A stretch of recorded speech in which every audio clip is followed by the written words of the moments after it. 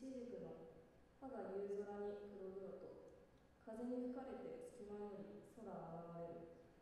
美しい前は一本駆け落ちたオミナのように姿勢よく。夕べの空に立ち尽くす。私はがっかりとして私の過去のごちゃごちゃと